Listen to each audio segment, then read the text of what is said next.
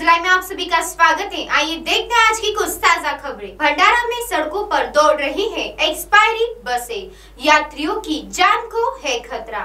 ST महामंडल के भंडारा विभाग के भंडारा तुमसर, गोंदिया, साकोली, पवनी मिलाकर छह डिपो है। इनमें से कई बसों ने अपनी आयु मर्यादा पार किया है। यही एक्सपायर बसें सड़क पर दौड़ रही है, जिसमें यात्रियों की जान को खतरा नज़र आ रहा है। भंडारा विभाग से आयु मर्यादा पर कर चुके बसेस की संख्या सैकड़ों के आसपास है। इसमें भंडारा डिपो अग्रस्थान पर है। उससे पीछे पीछे गोंदिया तुमसर डिपो में इनकी संख्या अधिक है। बसेस सड़क पर चलने से यात्रियों की जान खतरे में है। छह डिपो द्वारा कबाड़ एसटी बसेस का खुले आम इस्तेमाल शुरू है। तो कहीं बंद हो जाती है बसेस। दौड़ते रास्तों में किसी भी जगह पर बंद होने के कारण यात्रियों की जान हथेली पर लेकर यात्रा तक करना पड़ता है। इसमें भंडारा विभाग के शिवशाही का भी समावेश है। भंडारा में दूषित पानी पीने मजबूर लोग। नहीं मिल रहा है समस्या से छुटकारा। भंडारा विदर्भ की सबसे बड़ी पहचाने जाने वाली वैनगंगा नदी अभी नाग नदी के दूषित पानी से भरी हुई है। पानी मनुष्य के साथ ही पालतू जानवर एवं पशु पक्षियों को भी पीने के लिए योग्य नहीं है। पानी अभी नदी किनारे के गाँव को पीने के जाती है।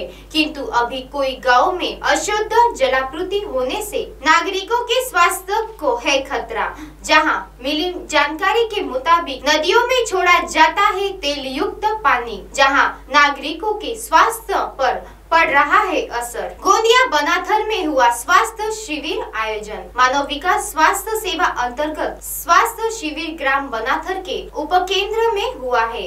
काटी के आयुर्वेदिक अस्पताल के वैद्यकीय अधिकारी डॉक्टर अमर भोगरागड़े डॉक्टर शशांक शेंडे, स्वास्थ्य सेविका R R Sharma, A H Yadav, P S Rahangdale, ग्राम बिरसोला क्षेत्र की जहाँ एक गर्भवती महिला स्वदा माता छोटे बच्चों की सेम और मेम की जाँच की गई है। फ़िलहाल वक्त हो चुका है ब्रेक का। ब्रेक से लौटे के बाद देखिए देश और दुनिया की तमाम बड़ी खबरें। आप हमारे चैनल को ऐप पर भी देख सकते हैं। प्ले स्टोर में जाकर एम हिंदी लिखिए और ऐप डाउनलोड करें। साथ ही साथ आप हमारे फेसबुक पेज को भी लाइक कर सकते हैं और उन पर भी खबरें देख सकते हैं।